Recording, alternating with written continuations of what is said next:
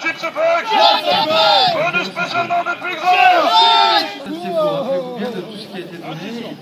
pour de tout faut tenter.